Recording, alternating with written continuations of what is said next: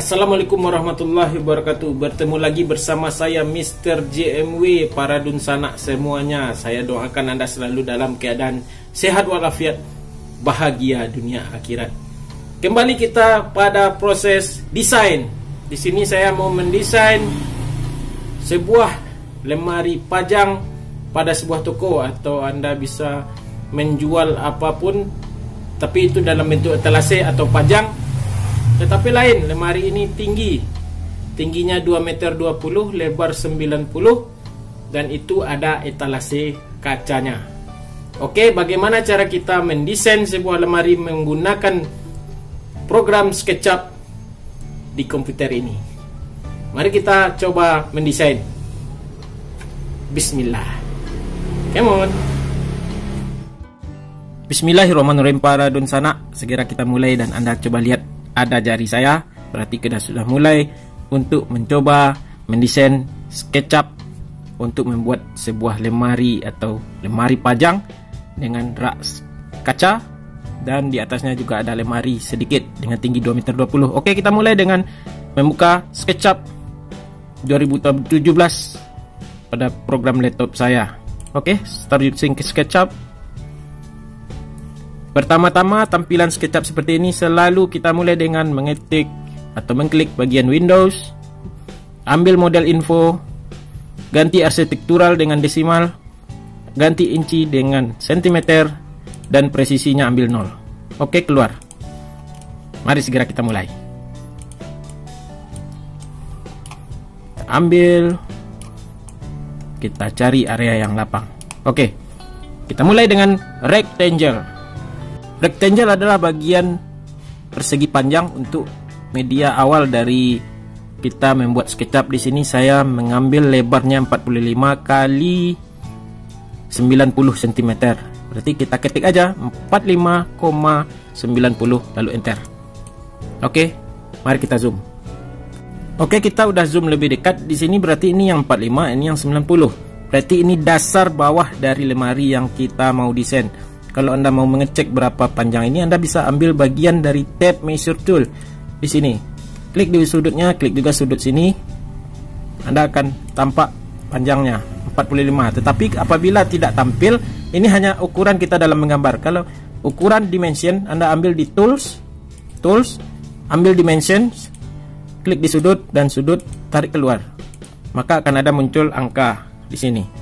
Juga bagian sini, klik di sudut, klik di sudut, akan ada muncul angka ukurannya. Jadi 90 kali 45 cm. Oke, let's go. Kita mulai yang lain. Oke, saudara, para dunsana, setelah dasarnya kita dapat 45 kali 90, berarti tadi kita mau membuat lemari itu dasarnya adalah tingginya adalah 2 meter 20. Tetapi sebelum Anda memulai, Anda harus membuat tapak dari lemari ini dulu. Maka kita balikkan dulu, kita proses bagian tapak. Di sini ambil bagian offset, terus ke bagian bawah, anda buat lingkaran seperti ini dia akan sendirinya seperti ini ada lingkaran persegi seperti itu. Dan ketik dua lalu enter. Nah oke okay, setelah selesai Anda pull and push ke bawah. Ambil tapak sekitar 10 cm 10 ketik enter. Oke. Okay. selesai. Kayaknya 10 cm ini terlalu tinggi saya kurangi ambil 8 cm aja. Oke 8 cm ini bagian tapak ready setelah bagian tapak ready Anda tinggal grouping bagian tapak ini terlebih dahulu. Daripada nanti kalau kita lanjut ke atas dia akan menuruti bagian yang sebelumnya. Maka kita grouping dulu supaya section-sectionnya terbagi. Cara menggrouping Anda boleh melingkar bagian itu semuanya dengan kursor atau juga Anda bisa klik tiga kali di sana. Oke, setelah semua warnanya menjadi biru, Anda klik kanan di sana. Lalu klik make group. Nah, dia sudah tergroup. Oke, setelah grouping ready, kita klik bebas. Lalu kita ambil rectangle lagi. Kita timpa lagi bagian tapak itu dengan rectangle yang baru.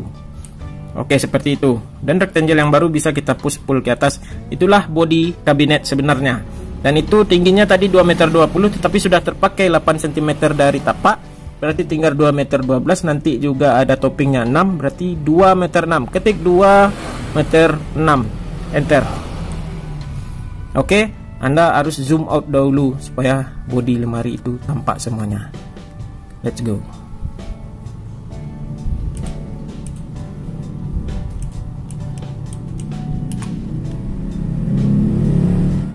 itu kondisi kita setelah kita zoom out. Inilah posisi kabinet kita. Kabinet itu dalam bentuk box sekarang. Bagaimana cara kita membentuk kabinet itu dalam bentuk rangka kabinet? Maka kita ambil offset lagi di sini. Offset. Teman lihat ini offset. Taruh di sini kursornya, tarik ke atas atau ke mana. Nanti ada persegi panjang seperti itu. Ketik 2 untuk tebal kabinet 2 cm. Oke. Setelah ready, anda push and pull bagian yang di dalam. Karena ketebalan lemari 45 berarti tebal dinding belakang sekitar 4 mili berarti 45 kurang 4 mili berarti 44,6 ketik 44 titik 6 enter. Oke dan sana kita lanjut ke bagian topping terlebih dahulu. Kita geser. Kita ambil rectangle lagi. Timpa di bagian atas. Aduh maaf belum belum sempat. Tunggu salah saya anda harus grouping yang tadi terlebih dahulu. Klik tiga kali. Oke group. Baru bisa kita menimpa dengan rectangle yang baru. Kita timpa. Oke karena tadi toppingnya saya mau berencana 6 cm kita push and pull ke atas ketik 6 enter.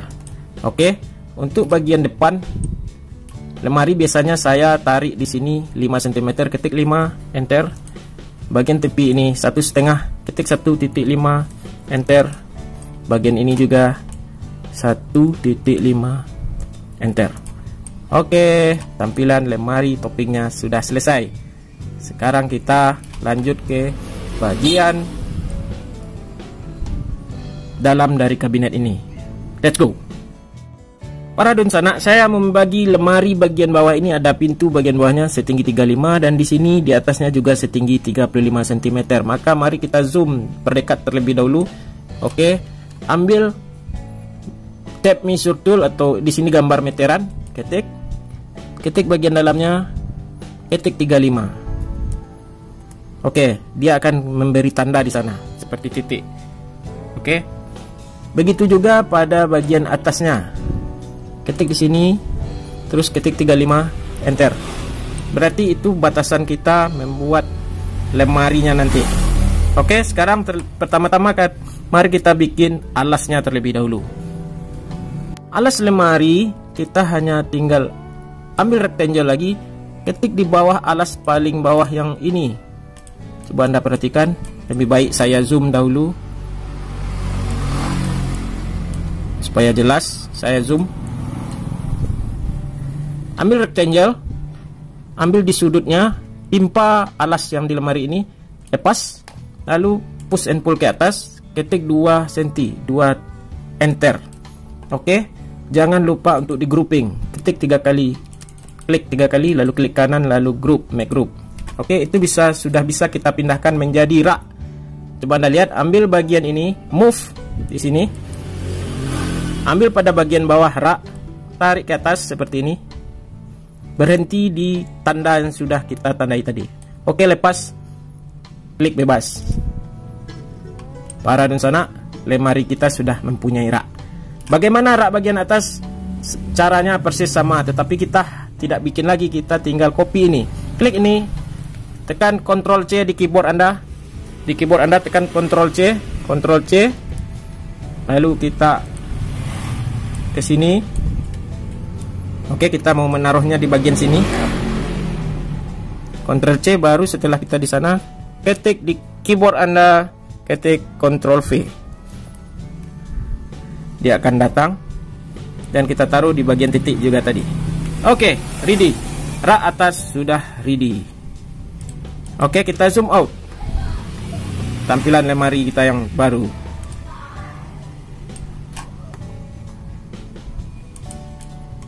Nah, para dan sana, seperti itulah tampilan bidang ruangan lemari kita. Apalagi para dan sana, sekarang kita tinggal bikin pintu dan rak di dalamnya. Let's go.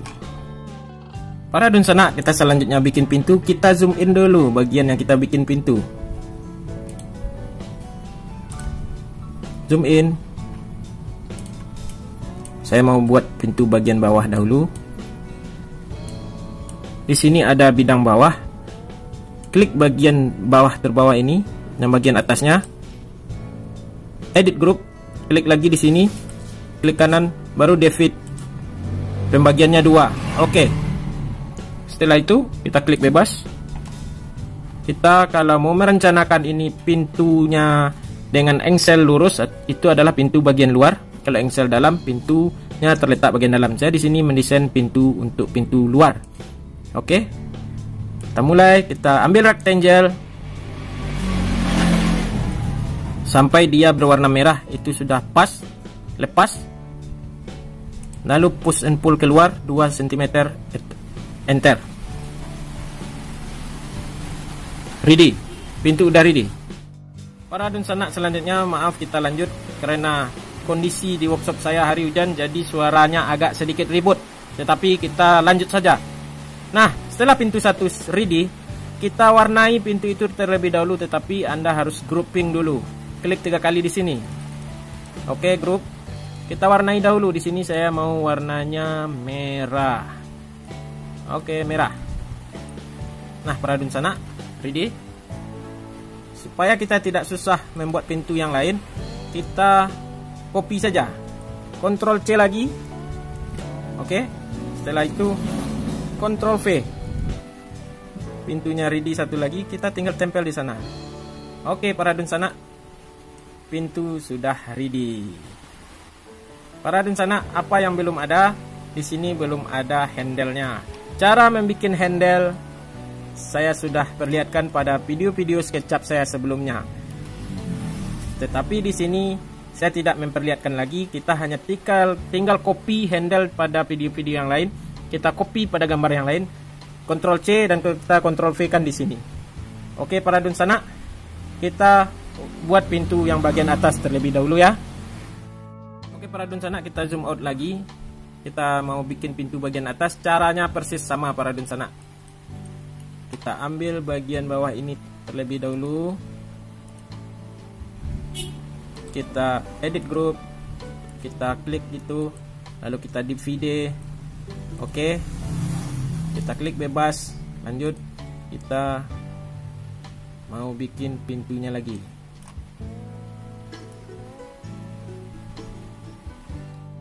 Bikin pintu rectangle yang baru.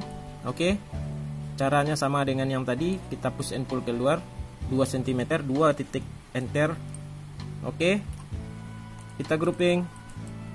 Group. Kita warnai. Oke. okay. Lalu kita copy Ctrl C dan Ctrl V. Taruh bagiannya ke sini. Oke okay, ready para sana kita zoom out lagi. Untuk sementara lemari kita untuk bagian pintu sudah ready. Oke anda juga boleh mewarnai bagian sini warna merah juga boleh anda juga membedakan warna bisa edit group bagian yang di dalam anda beri warna lain juga boleh supaya lebih bagus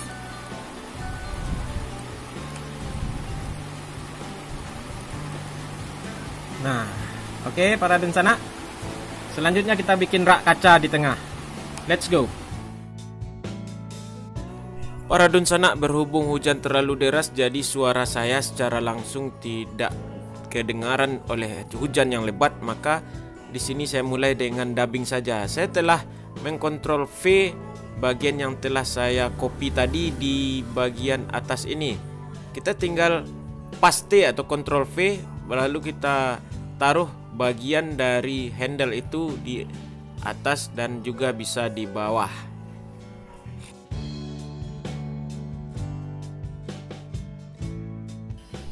Para dunsana untuk mengopi bagian handle ini Anda sorot di sana sampai biru lalu push Ctrl C pada keyboard Anda lalu paste atau Ctrl V dia akan muncul seperti ini dan kita letakkan di mana Anda mau Begitu juga untuk handle bagian bawah, Anda hanya tinggal menekan Ctrl V atau paste. Nah, seperti ini lalu tekan klik di mana Anda suka meletakkannya.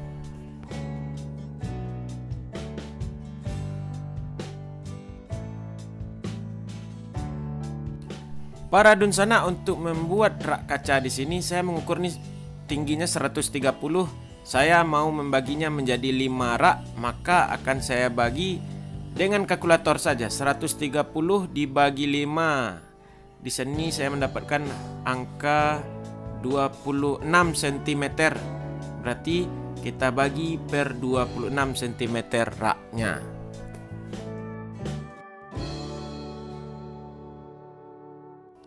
Para dunsana kita tandai bagian-bagian 26 cm itu dengan meteran yang ada di SketchUp kita. Per 26 cm enter. 26 ditarik di ke atas. Ketik 26 lalu enter. Dia akan otomatis memberi tanda titik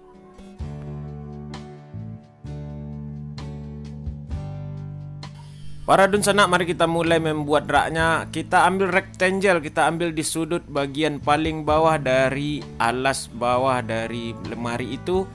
Dan kita tarik 2 cm enter Lalu kita grouping. Kita birukan tuh tiga kali kita grup setelah di grup itu bisa kita angkat. Tapi terlebih dahulu kita ambil posisi glass di sini. Nah kita warnai dengan warna kaca glass. Oke setelah itu baru bisa kita angkat dengan menggunakan tombol seperti tadi. Nah kita tarik ke atas. Di tempat titik-titik yang telah kita tandai di 26 cm tadi. Dan setelah itu baru itu bisa kita copy. Anda push Ctrl C lalu Anda paste atau Ctrl C lalu tekan Ctrl V. Lalu kita taruh di bagian titik-titik yang telah kita tandai tadi.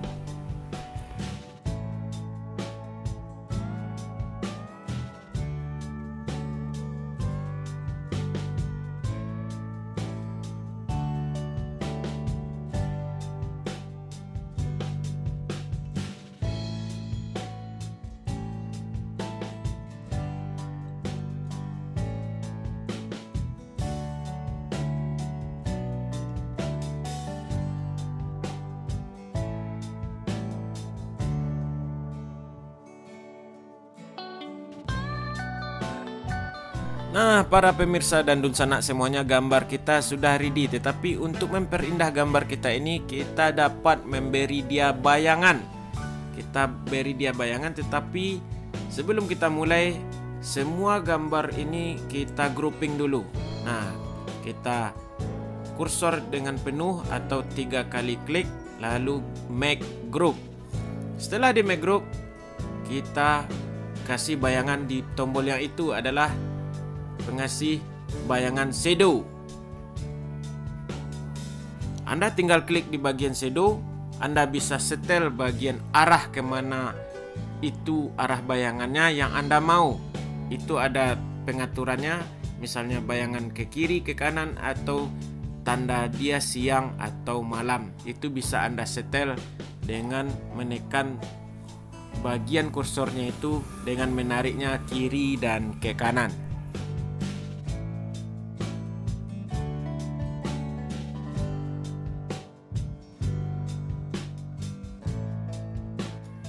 Nah, para dunsana, untuk sementara ini selesai, maka kita beri tanda atau kita beri ukuran lemari ini dengan cara ketik tools, ambil dimension, lalu cari sudut tertinggi dan sudut terendahnya, lalu tarik ke kiri, dan itu akan otomatis memberi tanda ukuran di sana.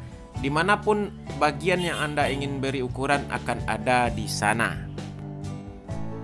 Para dunsana, Alhamdulillahirrahmanirrahim telah selesai kita membuat gambar ini. Semoga semua bermanfaat dan menjadi amalan bagi saya. Assalamualaikum warahmatullahi wabarakatuh.